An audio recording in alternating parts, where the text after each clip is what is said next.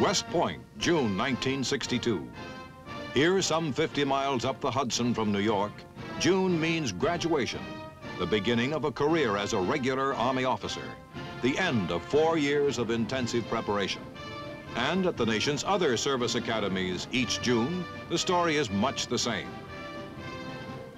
Here on the banks of the Severn River in Maryland, the men of Annapolis are focusing their thoughts on the years ahead as they prepare to begin their active service in the regular Navy or in the Marine Corps.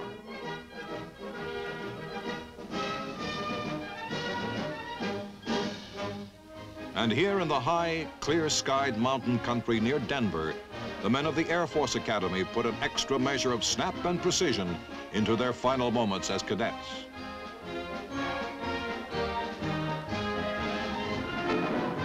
For the graduates of all three academies, the challenge ahead is great.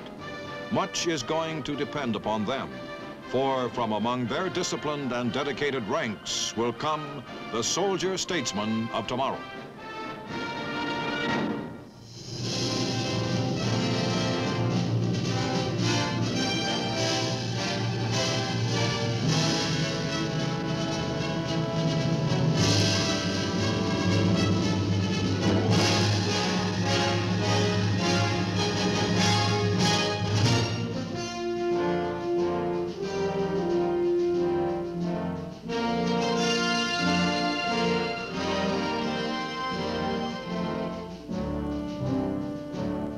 West Point, as the oldest of our nation's service academies, has for nearly 160 years produced young leaders whose professional lives were to reflect a profound devotion to the Academy's three-word motto, duty, honor, country. Through the years, much has changed, but like the basic principles of our nation itself, this credo is timeless. Ahead for the cadet of today are years fraught with demanding challenge. But behind him is the record of those who have gone before, and it is rich with high achievement. Largely, the story of West Point begins with one man, an Army colonel known to generations of cadets as the father of West Point, Sylvanus Thayer. From his appointment as superintendent of the Military Academy in 1817, the long gray line dates its beginning as one of the elite military fraternities of the world. West Point in the early 1800s found itself in serious difficulty. As an institution of learning, it was weak, badly organized, and much criticized because of the favoritism which made it a retreat for well-to-do dandies, the pampered sons of the wealthy. The Academy needed a strong hand, a man who would be administrator, educator, soldier, and leader. This difficult assignment President Madison gave to Colonel Thayer, and the cadets, known to the public as Uncle Sam's bad bargains, were soon to change their ways or depart to make way for better officer material. The days of favoritism were over. Thayer's strict programming of the day's routine instituted a way of training that continues, in essence, to this day. The cadet began to learn what Thayer already knew, that discipline is the key to character, that as a cadet he had to learn to carry out orders quickly and on a rigid schedule before he could be qualified as an officer to give orders to others. As Thayer intended, the work was hard, subjecting the cadet to intense daily pressure, physical, intellectual, emotional, morning to night. Many a cadet wrote home about the new discipline at the point and of how the adjustment to it was difficult, but somehow strongly satisfying, if a trifle hard on the feet. Being a cadet today still involves use of the feet. It involves, too, more than ever before, the use of the head. Small classes instituted by Thayer continue to intensify instruction at the Academy. In the sciences, practical application of theory learned in formal instruction brings the curriculum to life.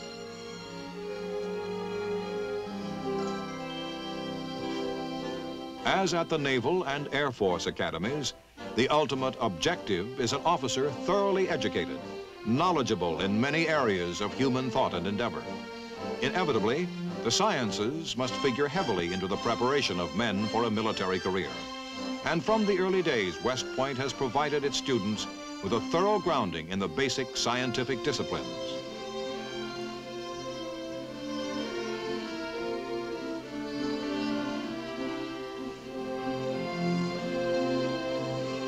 In fact, West Point was the first institution of learning in the United States to establish a systematic course of engineering. Men trained here were much in demand, both for teaching posts in other colleges and for civil engineering posts.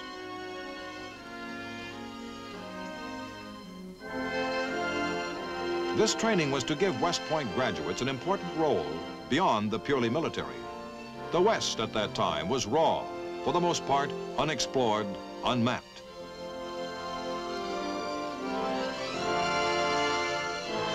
A few determined and adventurous pioneers were making their way into the far reaches of desert and mountain.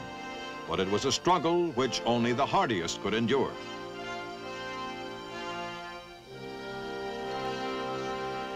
Meanwhile, young Americans at West Point were receiving their introduction to physics, mathematics, civil engineering, geology, cartography, mineralogy. We're in fact receiving the instruction which would provide through them the brains and the skill for the opening of the West. When men went out with the mission of finding and surveying routes for future railroads, there were many West Pointers among them.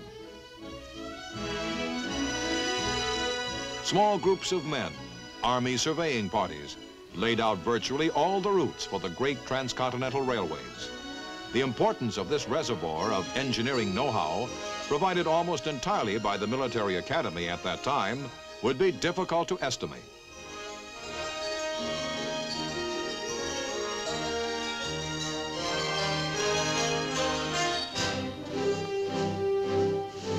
It was this know-how which linked the oceans of our continent.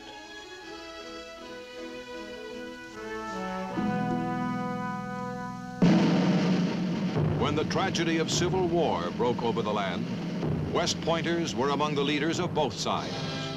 Grant and Sherman, Lee, Stonewall Jackson, and many others. The 20th century, of course, has brought vast changes in the profession of arms. The young officer of today faces not only a complex technology, but an overall scope of responsibility which is immensely wider than in the past.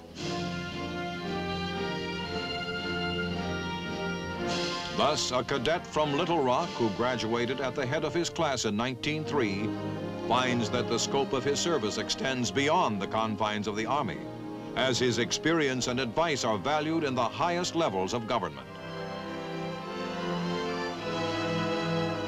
And this cadet from Clark, Missouri, graduating in 1915, finds that his career takes him from Missouri to Paris, where he must work on an international level in both military and diplomatic capacities.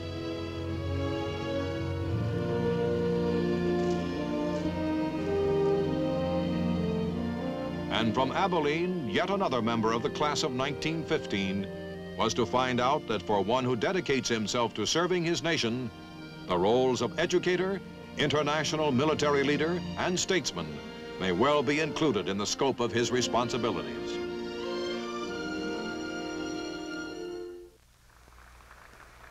Thus, to be a member of the class of 1962 at West Point was to stand at a new threshold in military history, facing an unparalleled challenge. A challenge which the Corps of Cadets is to hear evaluated by their commencement speaker, the Commander-in-Chief, the President of the United States.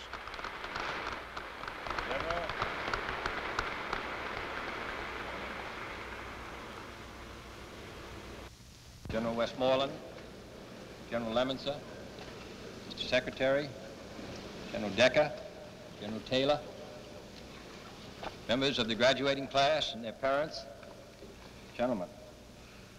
I want to uh, express my appreciation for the generous invitation to come to this graduating class. I'm sure that all of you who sit here today realize that you are part of a long tradition stretching back to the earliest days of this country's history, and that where you sit sat once uh, some of the most celebrated names in our nation's history, and also uh, some who are not so well known, but who on a hundred different battlefields in many wars involving every generation of this country's history have uh, given very clear evidence of their commitment to their country. So that I know that you feel a, a sense of pride in becoming part of that tradition. And as a citizen of the United States as well as president, I want to express our high regard to all of you and appreciation for what you are doing and what you will do for our country in the days ahead. I know that uh, many of you may feel, and many of our citizens may feel, that in these days of uh, the nuclear age, when war may last in its final form a day or two or three days before much of the world is burned up, that uh, your service to your country will be only uh, standing and waiting. Nothing, of course, could be further from the truth.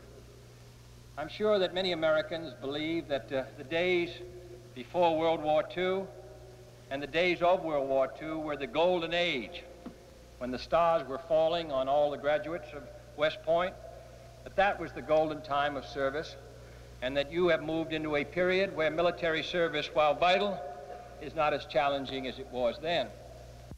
The fact of the matter is that the period just ahead in the next decade will offer more opportunities for service to the graduates of this academy than ever before in the history of the United States because all around the world in countries which are heavily engaged in the maintenance of their freedom. Graduates of this academy are heavily involved. Whether it's in Vietnam or in Laos or in Thailand, whether it's a military advisory group in Iran, whether it's a military attache in some Latin American country during a difficult and challenging period, whether it's the commander of our troops in South Korea, the burdens that will be placed upon you when you fill those positions, as you must inevitably, will require more from you than ever before in our history. The graduates of West Point, the Naval Academy, and the Air Academy in the next 10 years will have the greatest opportunity for the defense of freedom than this, graduates, this Academy's graduates have ever had. And I'm sure that the Joint Chiefs of Staff endorse that view, knowing as they do and I do the heavy burdens that are required of this Academy's graduates every day. General Tucker in Laos or General Harkins in Vietnam, and a dozen others who hold key and significant positions involving the security of the United States and the defense of freedom, you're going to follow in their footsteps. And I must say that I think that you will be privileged in the years ahead to find yourselves so heavily involved in the great interests of this country. And therefore, I hope that you realize, and I hope every American realizes, how much we depend upon you. Your strictly military responsibilities, therefore, will require a versatility and an adaptability never before required in either war or in peace. They may involve the command and control of modern nuclear weapons and modern delivery systems so complex that only a few scientists can understand their operation, so devastating that their inadvertent use would be of worldwide concern, but so new that their employment and their effects have never been tested in combat conditions. On the other hand, your responsibilities may involve the command of more traditional forces, but in less traditional roles men risking their lives, not as combatants, but as instructors or advisors or as symbols of our nation's commitments. The fact that the United States is not directly at war in these areas in no way diminishes the skill and the courage that will be required. The service to our country which is rendered, or the pain of the casualties which are suffered, to cite one final example of the range of responsibilities that will fall upon you. You may hold a position of command with our special forces. Forces which are too unconventional to be called conventional, forces which are growing in number and importance and significance. For we now know that it is wholly misleading to call this the nuclear age, or to say that our security rests only on the doctrine of massive retaliation. Korea has not been the only battleground since the end of the Second World War. Men have fought and died in Malaya, in Greece, in the Philippines, in Algeria, and Cuba, and Cyprus, and almost continuously on the Indo-Chinese Peninsula. No nuclear weapons have been fired. No massive nuclear retaliation has been considered appropriate. This is another type of warfare, new in its intensity, ancient in its origin, war by guerrillas, subversives, insurgents, assassins, war by ambush instead of by combat, by infiltration instead of aggression, seeking victory by eroding and exhausting the enemy instead of engaging him. It is a form of warfare uniquely adapted to what has been strangely called wars of liberation. To undermine the efforts of new and poor countries to maintain the freedom that they have finally achieved. It preys on economic unrest and ethnic conflicts. It requires in those situations where we must counter it. And these are the kinds of challenges that will be before us in the next decade if freedom is to be saved. A whole new kind of strategy, a wholly different kind of force, and therefore a new and wholly different kind of military training. But I have spoken thus far only of the military challenges which your education must prepare you for. The non-military problems which you will face will also be most demanding, diplomatic, political, and economic. In the years ahead, some of you will serve as advisors to foreign aid missions or even to foreign governments. Some will negotiate terms of a ceasefire with broad political as well as military ramifications. Others will hold delicate command posts which are international in character. Still others will advise on plans to abolish arms instead of using them to abolish others. Whatever your position, the scope of your decisions will not be confined to the traditional tenets of military competence and training. You will need to know and understand not only the foreign policy of the United States, but the foreign policy of all countries scattered around the world who 20 years ago were the most distant names to us. You will need to give orders in different tongues and read maps by different systems. You will be involved in economic judgment, which most economists would hesitate to make. At what point, for example, does military aid become burdensome to a country and make its freedom endangered rather than helping to secure it? To what extent can the gold and dollar cost of our overseas deployments be offset by foreign procurement?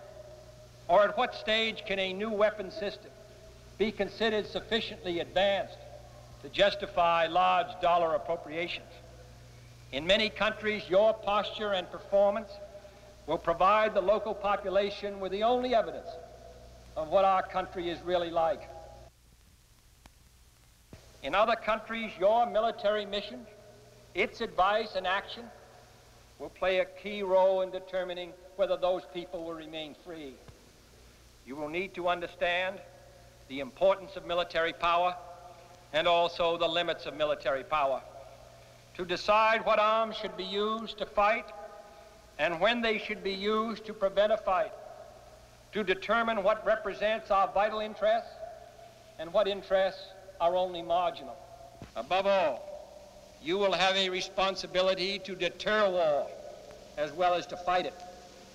For the basic problems facing the world today are not susceptible of a final military solution.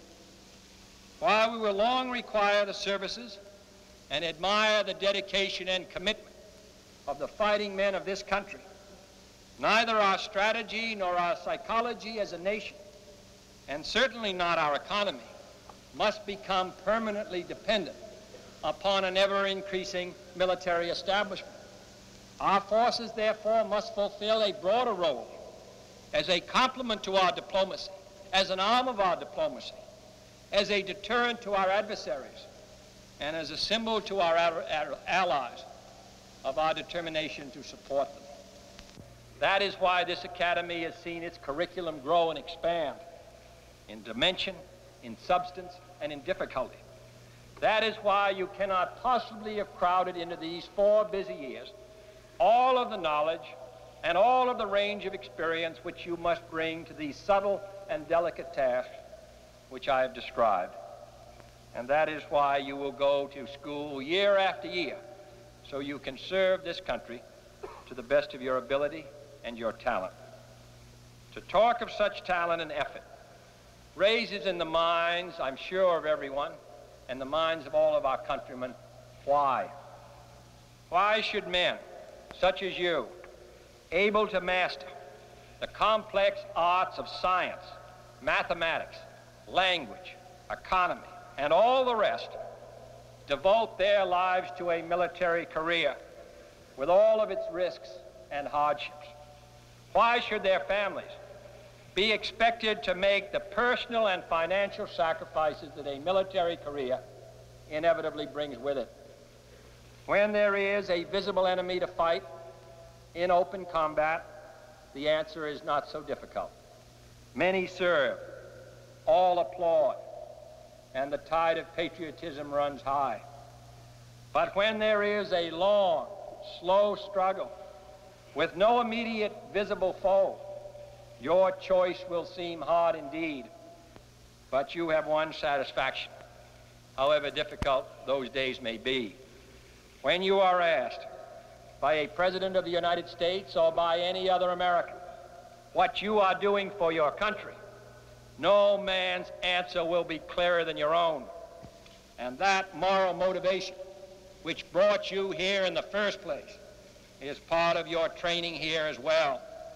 West Point was not built to produce technical experts alone. It was built to produce men committed to the defense of their country. Leaders of men who understand the great stakes which are involved.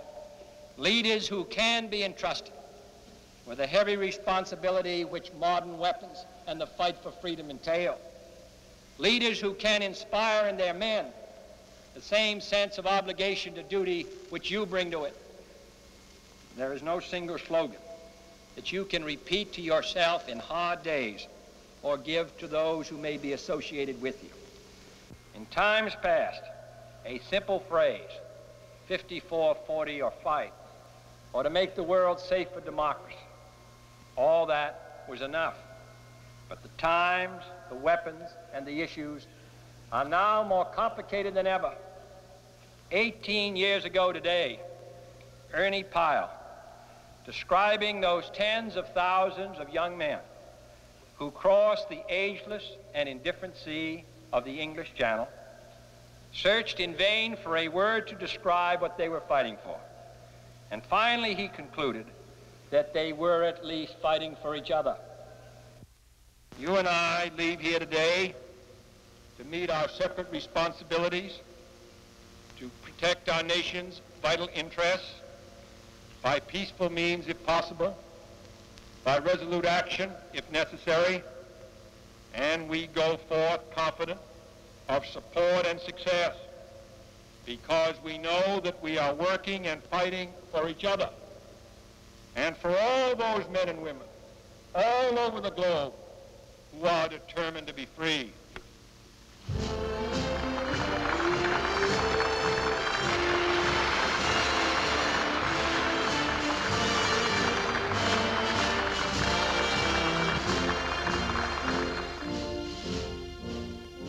for the 601 members of the class of 1962, and especially for the 30 or so honor students who received personal congratulations from their commander-in-chief. June 6th was a day not likely to be soon forgotten. The long gray line had come a long way since the graduation of the two cadets who made up the class of 18-2.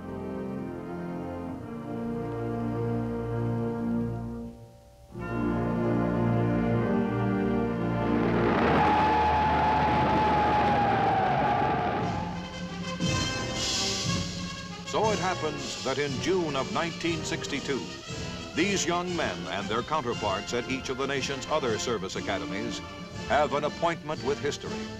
The time and place, the method and import of that meeting is not yet known. But one thing is certain. The degree of preparedness they will have to bring to their mission is greater than it has ever been. The demands which will be made upon them will be extensive, for upon their leadership and that of their peers in the 20th century world may depend the survival of freedom as we know and cherish it. The Commander-in-Chief's remarks at the West Point graduation clearly apply with equal force to each and all of the armed forces of our country.